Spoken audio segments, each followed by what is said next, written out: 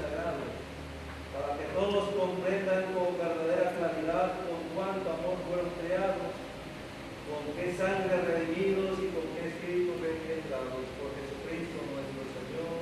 Amén. Nos sentamos y vamos a escuchar la palabra de Dios.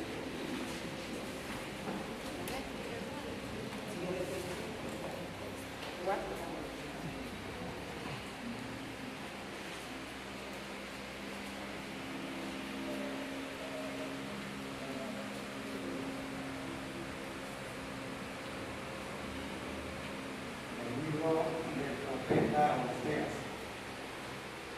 Esto dice el Señor Dios, Israel, conviértete al Señor Dios tuyo, pues tu maldad te ha hecho sufrir.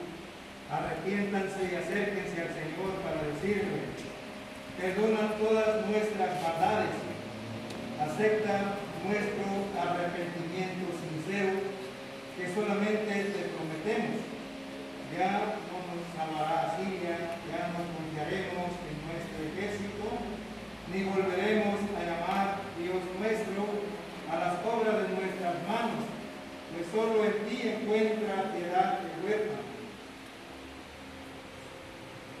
Yo perdonaré sus infidelidades, dice el Señor. Los amaré aunque no lo merezcan, porque mi cólera se ha apartado de ellos seré para Israel como rocío, mi pueblo florecerá como el hilo, unirá profundamente sus raíces como el álamo, y sus renuevos se propagarán, su esplendor será como el de olivo, y tendrá la fragancia de los cerdos de vida. Volverán a vivir bajo mi sombra, cultivarán, cultivarán los trigales y las viñas, que serán tan famosas como las de Líbano. Ya nada tendrán que Efraín con los.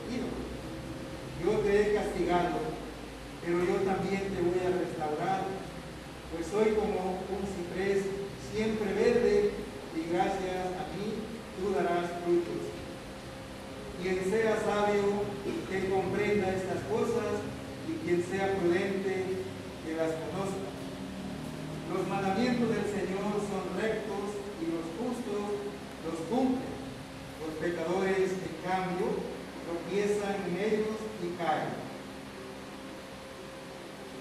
Bye.